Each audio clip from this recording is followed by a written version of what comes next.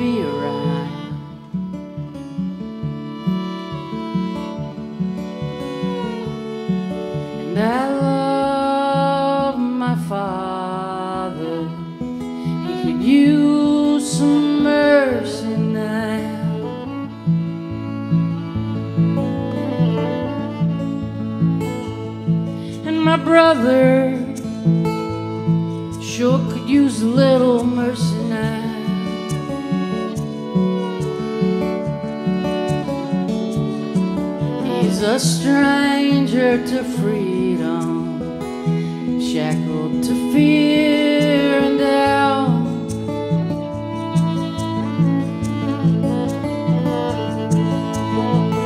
The pain that he lives in, it's almost more than living.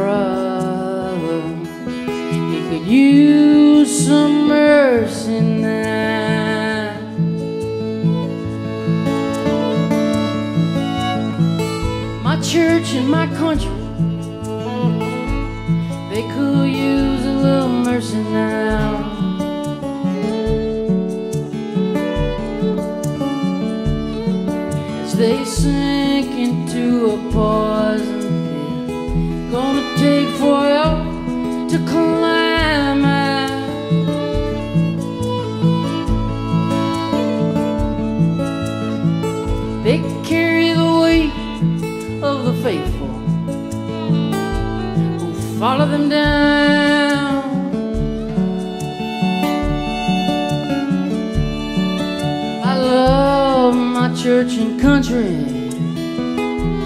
They could use a little mercy now.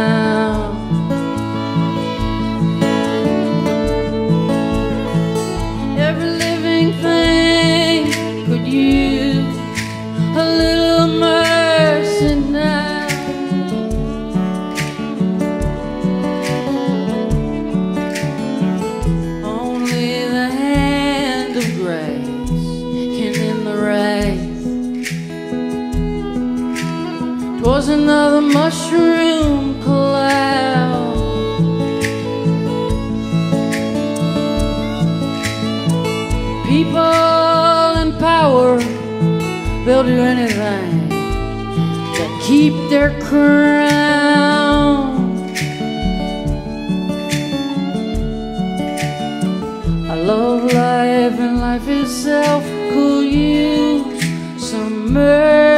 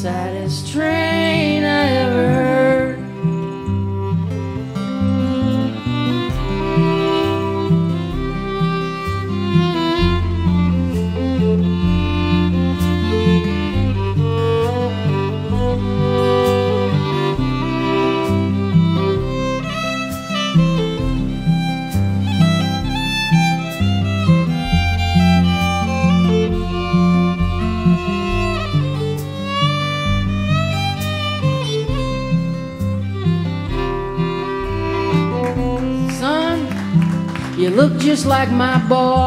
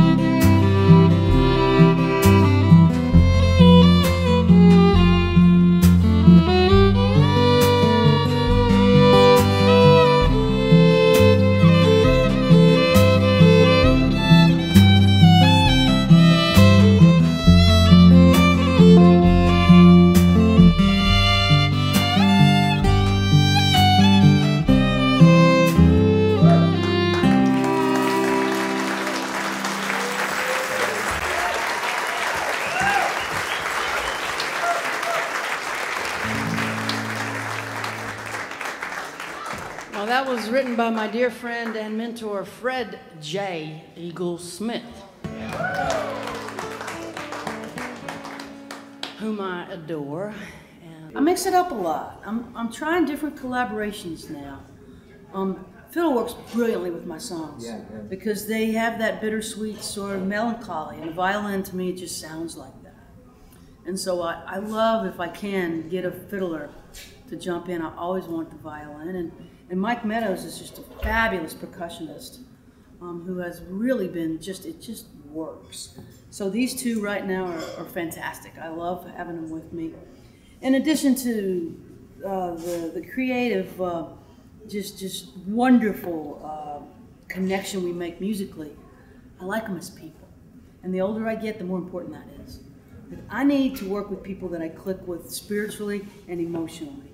And if we have different value systems, if we have different, profoundly different belief systems, it's just problematic for me. Yeah. I need, I need people that are kind, they're easygoing, they're professional, that have uh, a similar vision to me, that understand the difference between uh, uh, arrogance and humility. That's, I guess that's how I put it.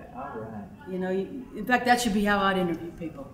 You know, give me your definition of humility. Give me your definition of arrogance. Go. Go. You know, and if we don't, if you can't, then you, you haven't done the work. And uh, You want to give us yours? yeah, humility is knowing that uh, uh, you are no better than any other person who's ever walked the earth. And arrogance is a feeling of superiority that's unwarranted and unmerited.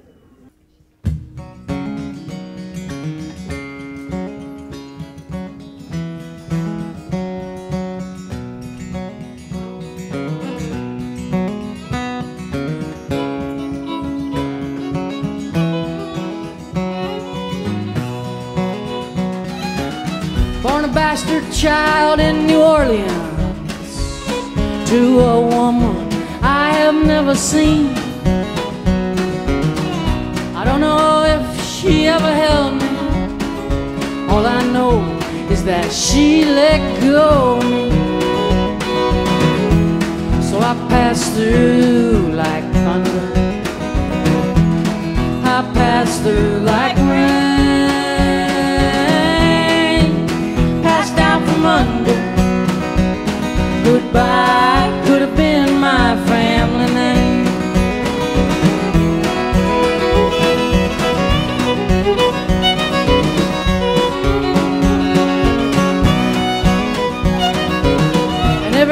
I settle down, it happens. I get a restless feeling I can't control.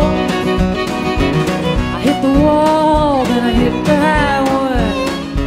I got the curse of the gypsy on my soul. And I move through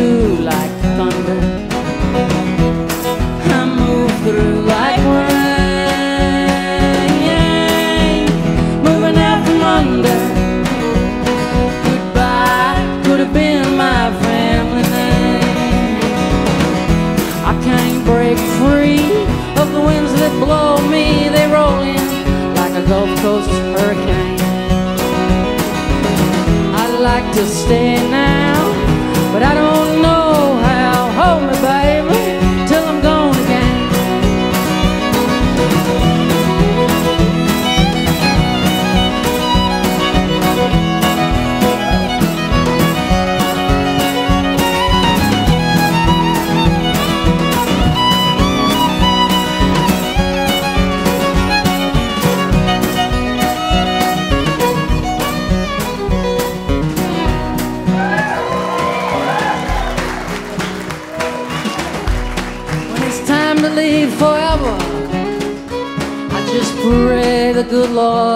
take me slow.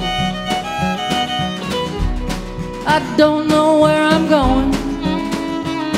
Just let me say goodbye and go.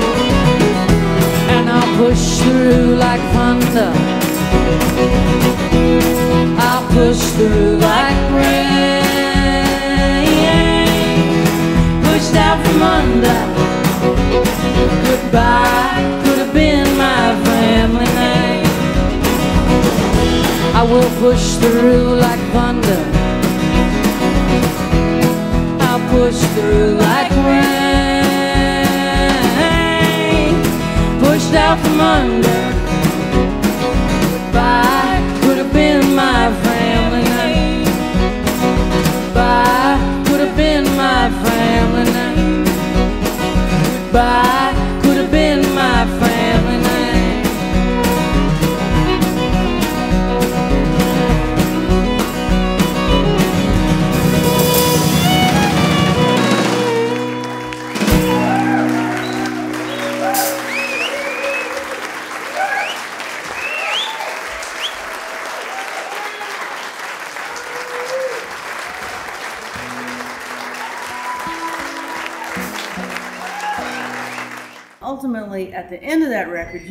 about me but what i'm really hoping is you know more about the effects of adoption and what adoption trauma is. You know we don't put those two words together yet um, but they go together. Adoption and trauma go together. Um, there's a great loss uh, in adoption for the adoptee. In a closed adoption you don't ever get access to your ancestors your your nationality your history your roots. And that loss is not something we've been allowed to really acknowledge.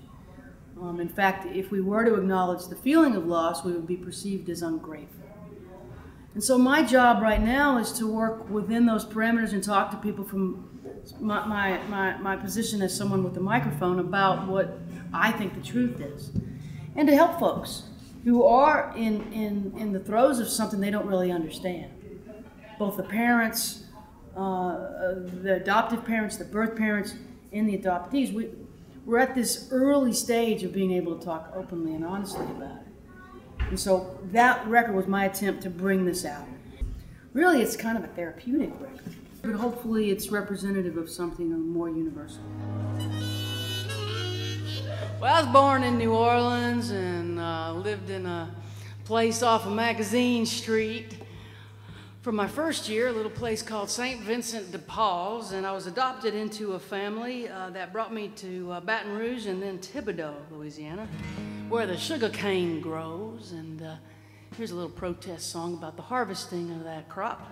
Because the way they harvest it is by setting the fields on fire all at once. Hundreds of thousands of acres of burning cane creates a little bit of a smoke and soot and ash situation. And uh, this is. Uh, Actually, I wrote this because I toured with Guy Clark for several years, and he always used to say from the stage, if you want to get to heaven, you better put your mama in your songs. I just didn't know how to work her into it until uh, I thought of how when we were kids and the sugar cane fields would start burning up right around Christmas time, she'd always want to bring us in and, and uh, keep us out of the smoke. And I was adopted into a family that uh, I probably uh, couldn't be more different from. I was adopted into Italians, uh, short olive skinned people. My mom's about like that big. She's, she's a beauty shop goer. She comes out of that beauty shop and boom, noticeably taller. She always wears these polka dot dresses and goes to church every Sunday, votes Republican, and uh, ra- rarely swears.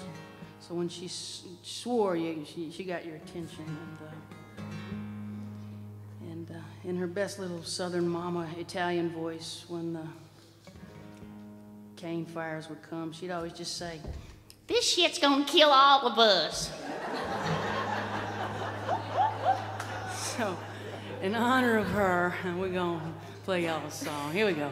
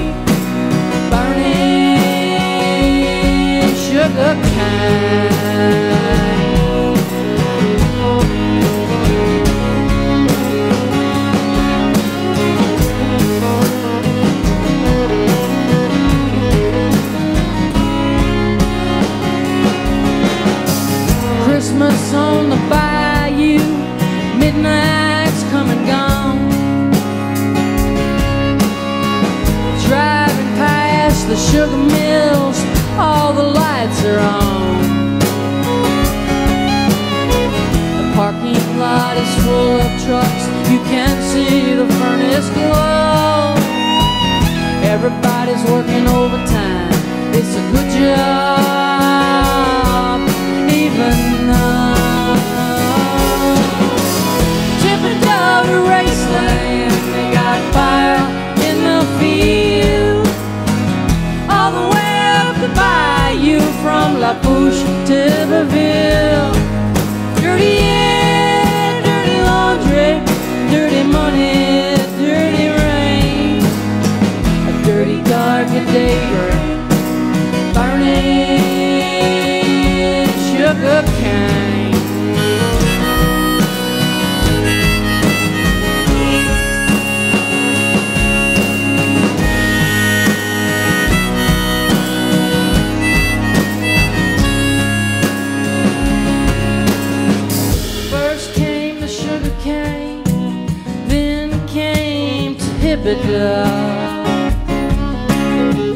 Cane sugar built this town, cane sugar paved the road. They burned the leaves to harvest cash, money for the company. Money makes the world go round,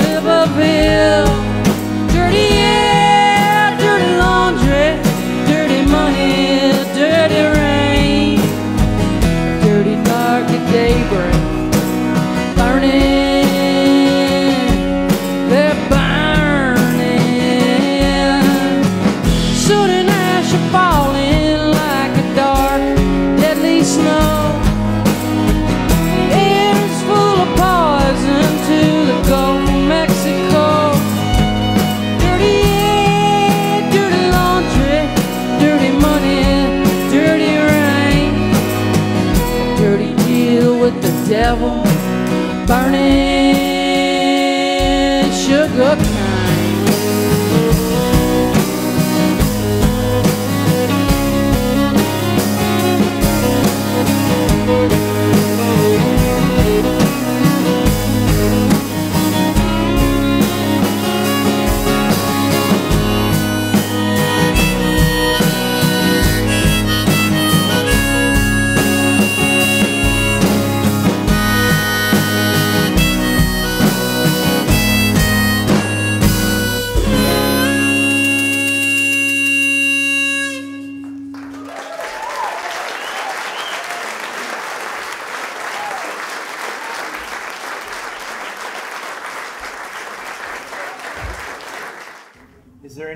about the response to that or um, reactions you've received to it that surprised you? Yeah, yeah.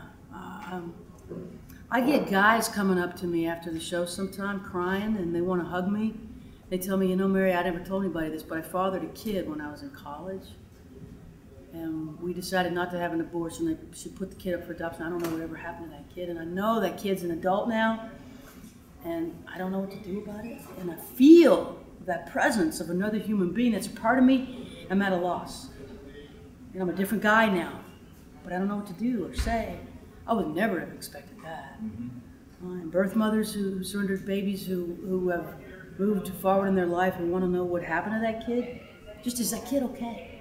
How did they turn out?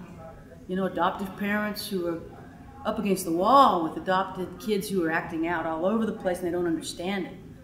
Like I, I gave him everything. Why is he suicidal? What's going on? So I've been. I thought it. I knew it would resonate with adoptees, but all of the people in the triad, uh, I didn't know if it would speak to. So I'm, I'm uh, a little overwhelmed and a lot happy that it has resonated in that way. Right. I don't really know what to do with it, and so I just want to start the dialogue. You know.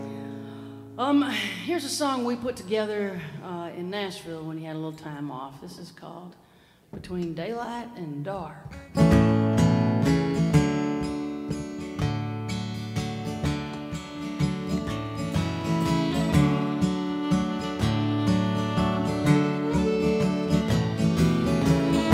Well, the grasses are swaying, sun's going down, music's Weaving through town, pull into the driveway. Toss it and park.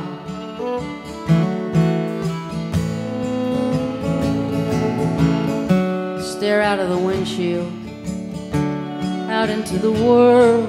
It was all for the love of a wayward girl who left you with a second place smile broken heart.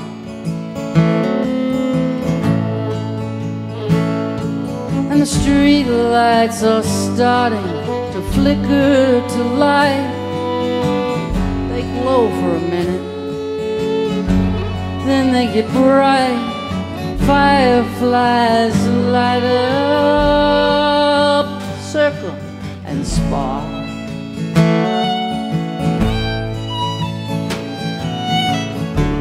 There's nothing really that you can do.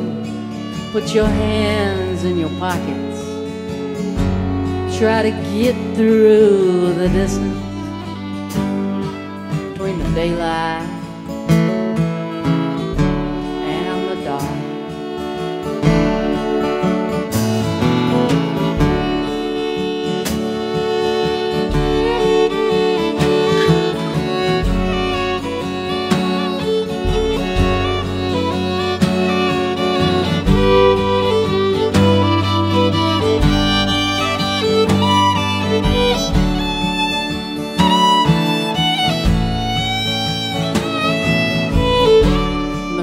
porch flags lie themselves down like forgotten soldiers.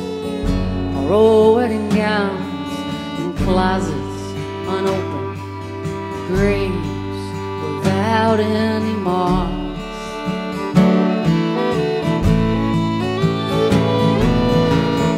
As the night curtains lower behind the rooftops shadows dance across the sidewalks they ricochet off of the houses like pieces of art. And your mind is reeling as the sky's changing all your feelings. You're rearranging the rest of your life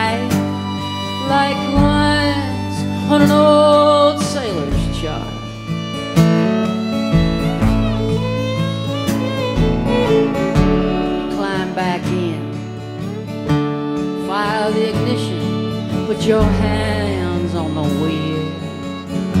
Head into the distance, the distance between the daylight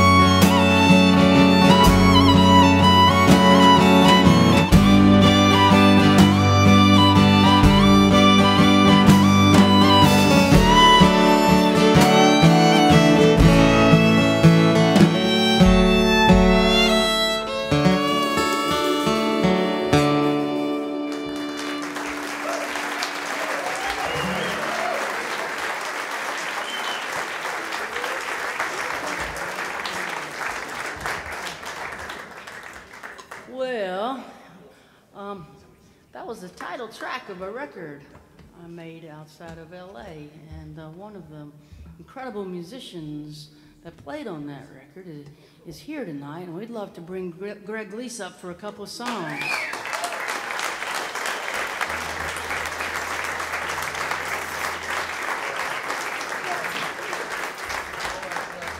He didn't bring a guitar. We borrowed one. We went out looking for one, Ron. I was like, well, hell, to get away with not playing. We're to have to find him a guitar. Why be off when you can work? It's play, I know.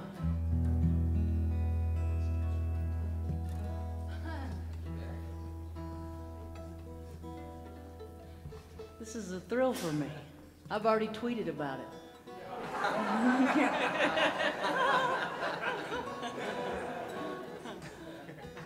we haven't done it yet, but the world knows we're gonna.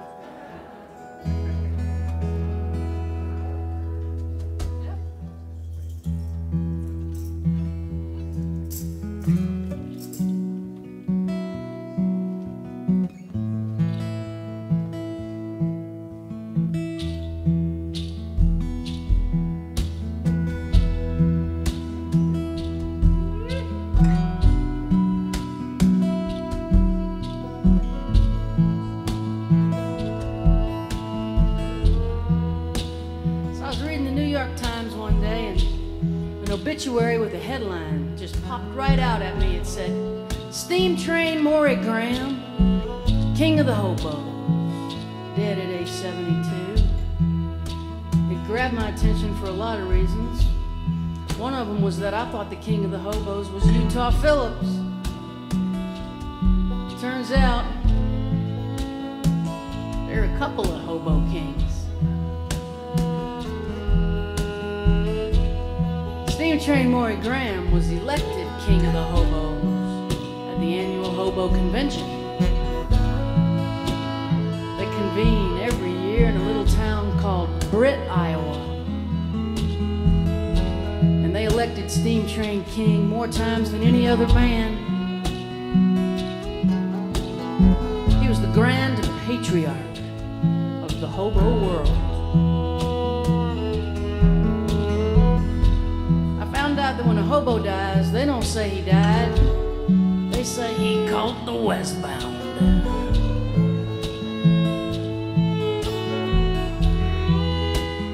I needed to see what this guy looked like, opened my laptop and Googled his name, and immediately a publicity photo appeared. And there he was, standing next to a steam train, looking a whole lot like Santa Claus. The day after Christmas. We're gonna sing you a little story about the man.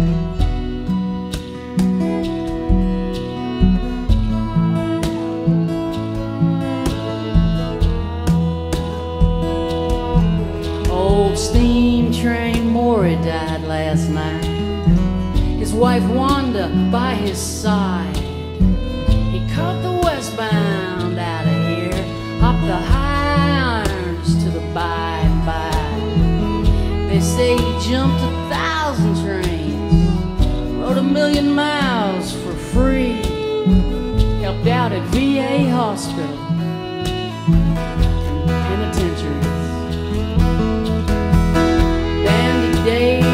and Rusty Nail, and Sweet Lady Sugar Cane, Dead-Eyed Kate and the Baloney Kid raised their cups tonight in steam train's name. Senators and congressmen,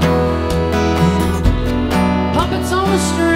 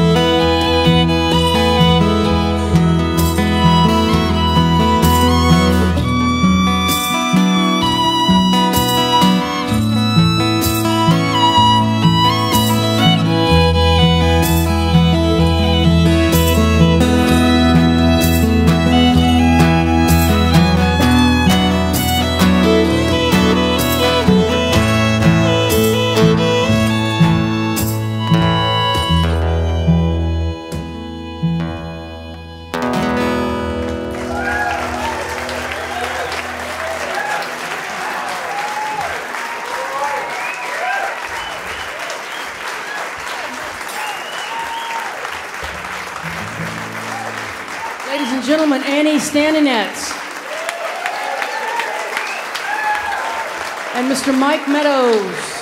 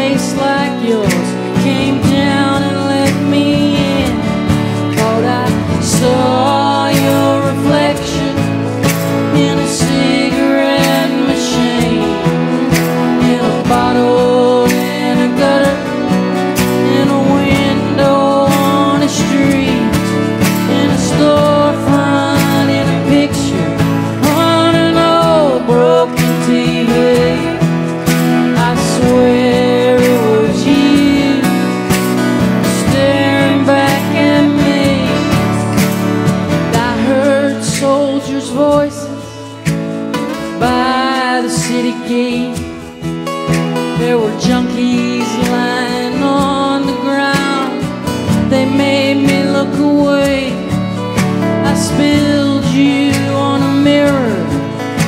I chopped you into line.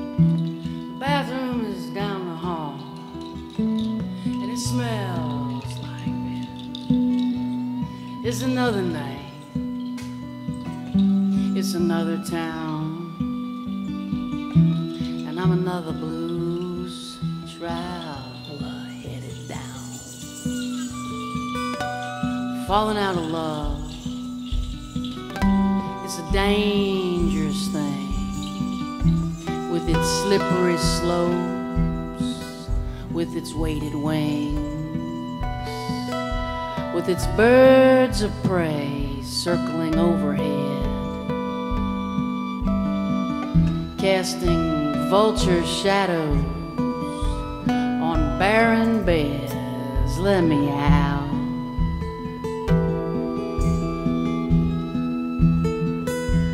Set me free.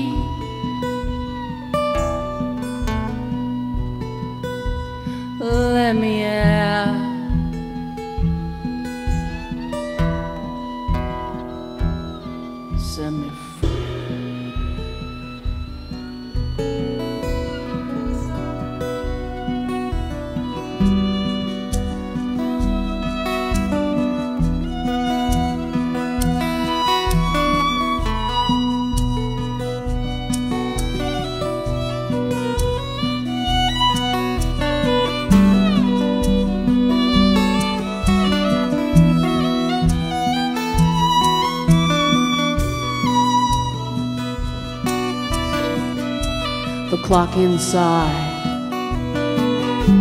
The church bell tower. It rings your name. Every hour. I see your face, I touch your hair, then the ringing fades, and nobody's there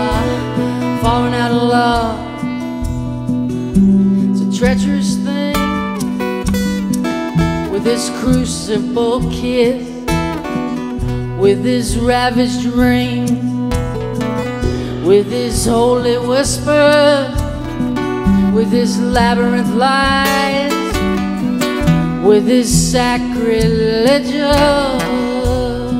hungry sighs. Let me out. Send me free.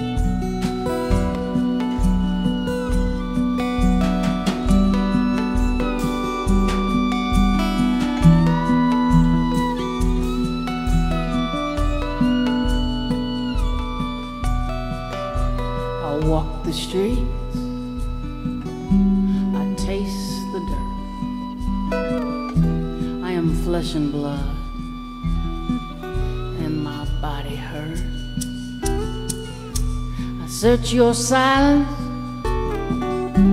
searching for a crack, for a passageway where I can pull you back. Falling out of love, it's a tedious thing with this jailhouse smirk, with its chain gang swing, with its time to serve, with this sunset, with its warm blood, with its cold sweat. Let me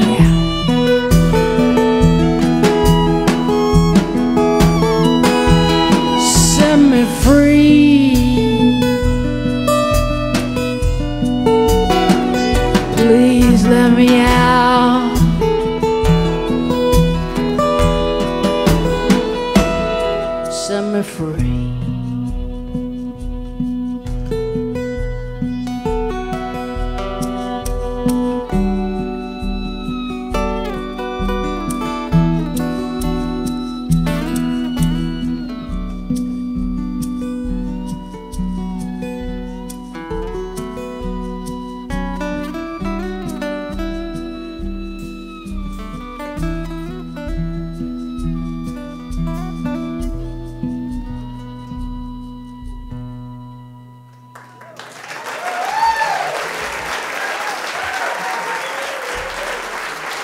Greg Leisz. Well, I don't know if I should, but I'm gonna go ahead and just brag. Ladies and gentlemen, I am an award winning songwriter.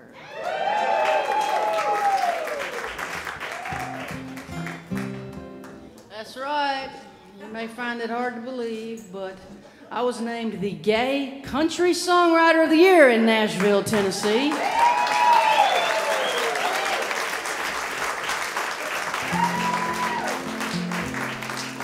A fiercely competitive category at the award show. Um, highly coveted award.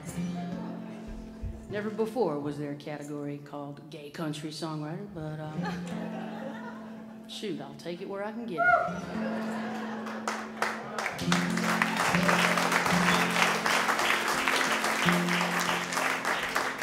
In fact, I ought to write a gospel song so I can create a Christian gay country songwriter thing. Start filling up my mantelpiece with stuff.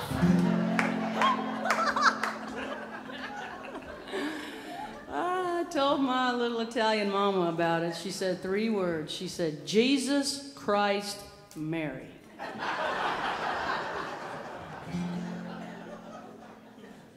I knew she would love it. That's what, one of the joys of winning the award was being able to tell her about it.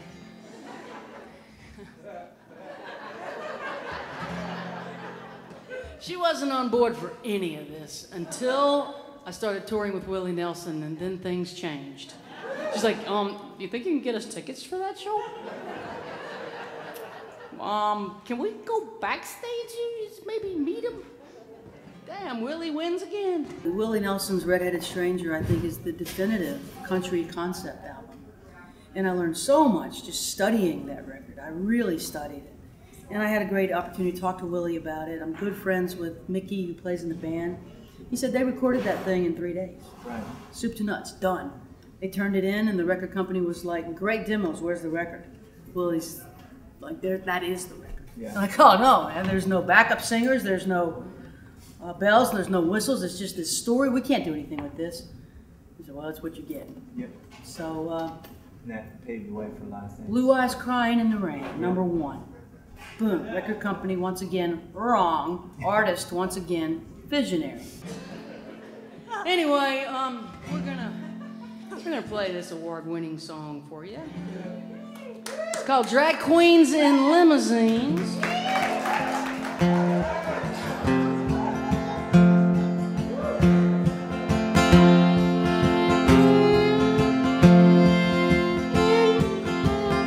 I hated high school. I prayed it would end. The jocks and their girls,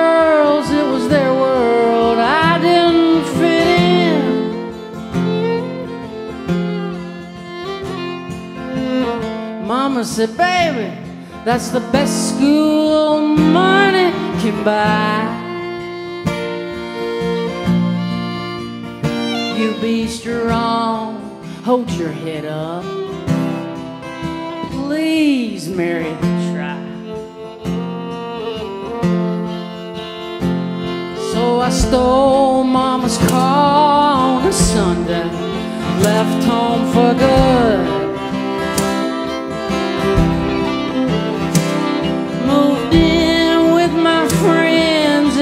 City in a bad neighborhood.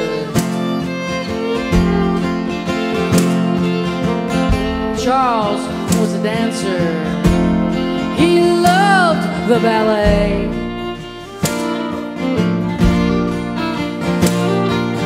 Kimmy sold pot. She read Kerouac and Hemingway. Queens in limousines. Nuns in blue jeans.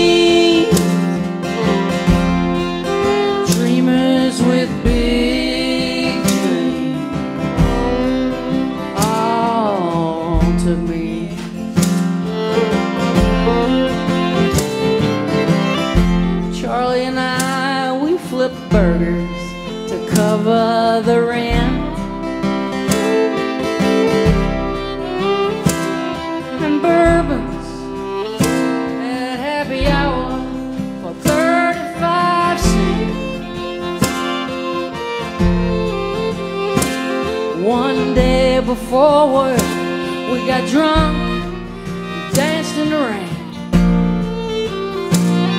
So they fired us both. They said, Don't ever come back again. Yeah, but drag queens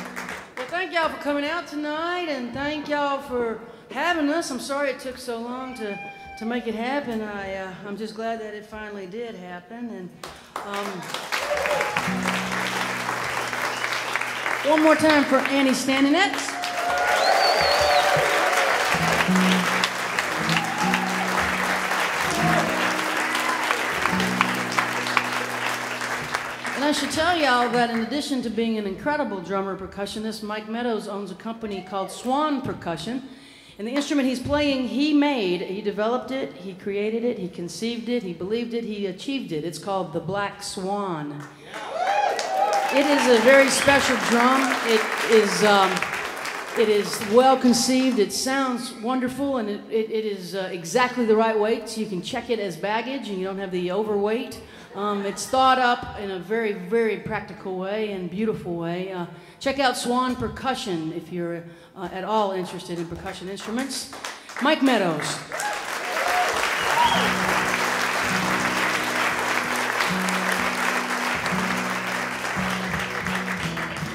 We'll play one more for y'all, and then we'll be happy to go back there and sign stuff for you. Uh, we got CDs, and uh, we even have dog tags and and, uh, and beer koozies that say "I drink."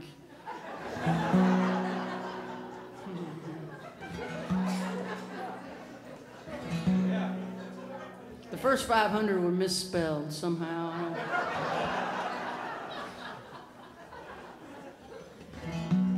I wrote this song for a dear friend of mine who passed away. He was a legendary, incredible songwriter named Dave Carter.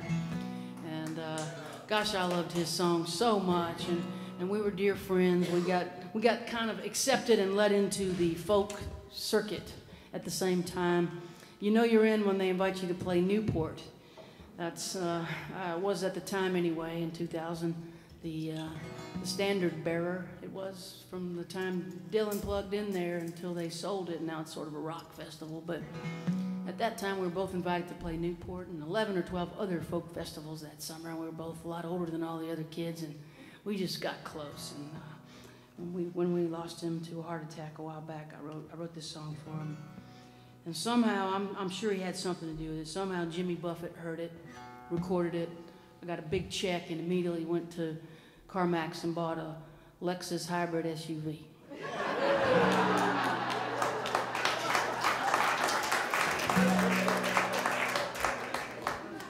You don't put Jimmy Buffett fund money into an IRA, you know? I think that would be bad karma. I thought, get the car of your dreams. You know the one I love? It's the one that uh, it looks either like a soccer mom or a, sort of a cocaine dealer the black one with the tinted windows and silver chrome on the wheels. I love that car. It's getting on in years now, so we need to come up with some other little miracle. Uh,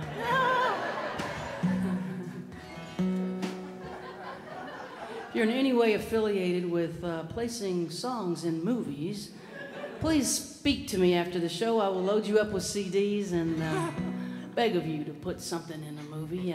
Television, we love having songs placed. Uh, it's more money than we make touring annually, probably. Getting one or two in there, and uh, I never did sign my publishing over to anybody, so I own it. There really weren't a lot of bids for it, you know. The the, uh, the truth is, the gay country songwriters aren't exactly first in line when they're looking for placements, but it could change. It could change.